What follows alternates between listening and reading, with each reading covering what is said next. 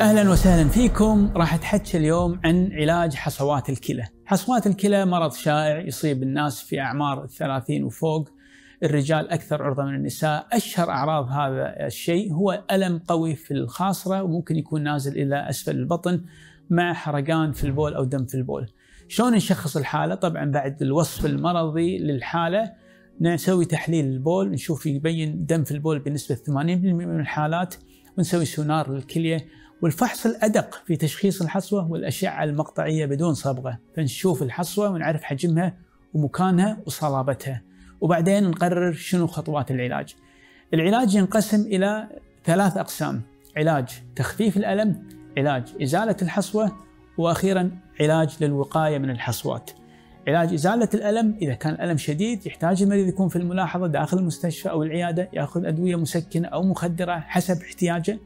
إذا كانت الحصوة صغيرة حسب الفحوصات وأقل من 5 ملي نقول للمريض ترى فرصة نزولها عالية تقريبا أكثر من 90% راح تنزل راح نعطيك مسكنات ننصحك بشرب السوائل وبالذات الماء بكميات زينة ونعطي دواء يوسع الحالب إذا كانت الحصوة من النوع اللي ممكن تذوب بالأدوية مثل الحصوات اليوريك أسيد نعطيك مادة تزيد من قلوية البول عشان مع الوقت هذه الحصوة ممكن تذوب بس هذا الوقت قد يحتاج أشهر فمهم إن المريض يلتزم بالعلاج.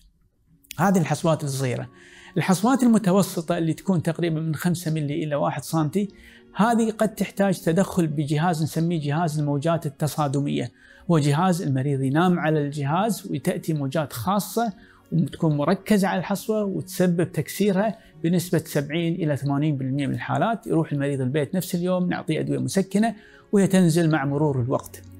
اللي ما استجاب المريض فيها لهذا النوع من العلاج أو إذا كانت أكبر من الحجم هذا بالذات أكبر من الواحد ونص آه، سنتي هني نحتاج إلى المناظير. شنو المناظير اللي نستخدمها في الجهاز البولي؟ عندنا نوعين. إذا كانت بالكلية وكبيرة نسوي منظار الكلية عن طريق فتحة صغيرة في الظهر ندخل فيها المنظار ونكسر الحصوة بأجهزة مختلفة ونحط دعامة أو أنبوب خارجي عشان تصريف البول وأي بقايا تنزل. أما إذا كانت في الحالب فهني ندخل عن طريق المجرى البولي إلى الحالب ونفتت الحصوة بجهاز الليزر ونحط شيء نسميه دعامة للحالب حتى يكون الحالب مفتوح على ما تنزل البقايا.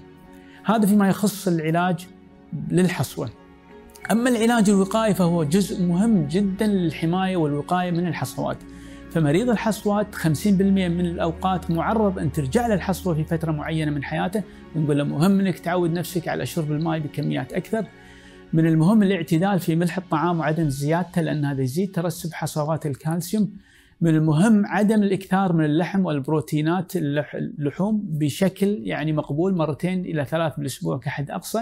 وعمل فحص شامل لتجميع البول وتحاليل الدم لمعرفة نوع الحصوة لأن في نسبة 25% من الحالات قد نحتاج نعطي دواء لفترات طويلة.